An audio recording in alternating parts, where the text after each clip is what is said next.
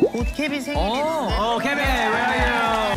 뭘로, 뭘로? 어? 뭐, 뭘로, 뭘로? 멤버들이 트월킹으로 축하해주자. 뭐래? 그건 아니야. 원치 않.